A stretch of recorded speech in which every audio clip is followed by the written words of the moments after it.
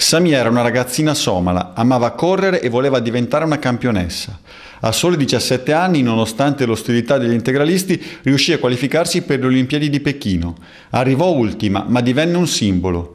Il suo sogno però erano le Olimpiadi di Londra, non c'è mai arrivata. La sua corsa si è fermata, a 21 anni, nelle acque del mare Mediterraneo. La storia di Samia è raccontata in un bel libro scritto da Giuseppe Catozzella, Non dirmi che hai paura, edito da Feltrinelli. È una storia reale che però dentro di sé contiene moltissimi universi simbolici potentissimi.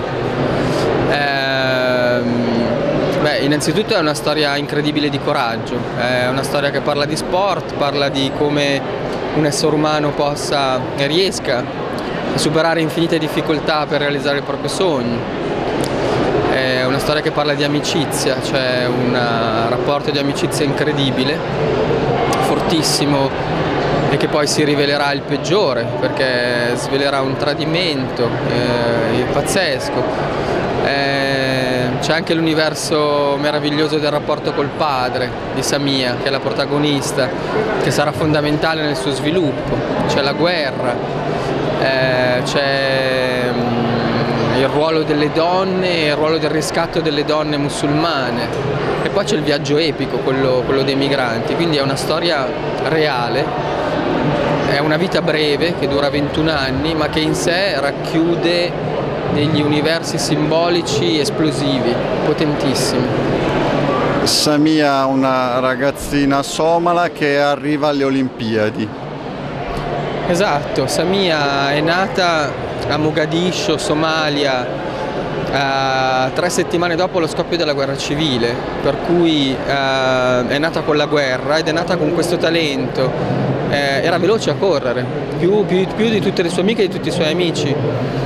E, e, anche con un sogno, quindi un talento ma anche la volontà di dire, realizzare questo talento, quindi di correre e di vincere. E in mezzo però si è trovata infinite difficoltà, la povertà, figlia di una famiglia molto povera, uh, un paese musulmano che si stava avviando al fondamentalismo di Al-Shabaab che poi ha preso il potere, quindi un paese in cui diciamo, alle donne è vietato dire, esporsi, figuriamoci correre e il fatto che appunto fosse un paese in guerra per cui non ci fosse, tanto per dire, neanche una struttura sportiva adeguata, assolutamente. E invece Samia appunto con, con le sue sole forze, con l'aiuto di Ali, del, del suo migliore amico che è il suo allenatore unico praticamente, eh, riesce ad arrivare a Pechino, alle Olimpiadi, a qualificarsi, a correre. Va lì, per lei è un sogno, sono i giorni più belli della sua vita, corre nei 200 metri, arriva ultima, eppure quel giorno accade il miracolo perché diventa eroina per le donne musulmane in tutto il mondo, comincia tornando a ricevere lettere da donne afghane, donne irachene, iraniane, degli Emirati che dicono tu riscatterai il destino uh, di noi donne musulmane. Eppure in patria, dopo le Olimpiadi, è molto più odiata di prima, è costretta a correre sotto il burka, evidentemente si è esposta, ha corso di fronte alle telecamere di tutto il mondo a viso scoperto, lo ha fatto da 17enne qual era, quindi molto giovane e lo ha fatto non tanto per farla rivoluzionaria quanto perché era e si sentiva un atleta, quindi eh, per andare più veloce si, si deve correre senza, senza, velo naturalmente. Solo che questa, questa cosa appunto eh, ha provocato nella sua vita eh, l'odio, l'odio nel suo paese. E quindi è stata costretta appunto a nascondersi poi. Una storia purtroppo finita tragicamente come la storia di tanti altri eh, stranieri, persone che arrivano dall'Africa e che incontrano la morte nel mare vicino all'Italia. Eh sì, l'epilogo, è tragico.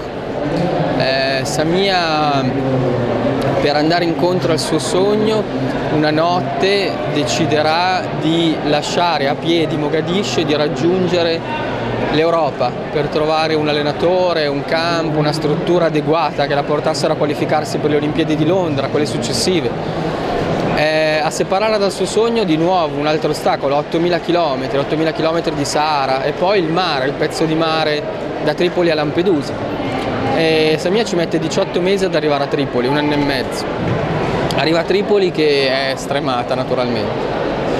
E, ehm, e e il suo sogno si infrange tra i flutti del, del mare Mediterraneo, no? che noi usiamo definire il nostro mare, ma naturalmente non è, non è più nostro che, che dell'Africa.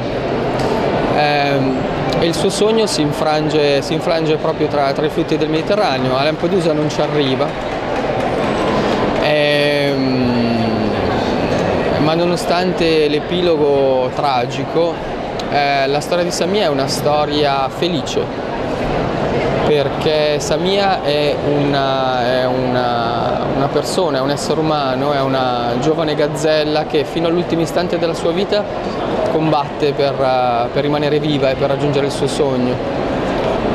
Quindi l'epilogo è tragico e lei è una, dei, è una delle 20.000, si dice, vittime uh, che il mare Mediterraneo si è preso negli ultimi anni.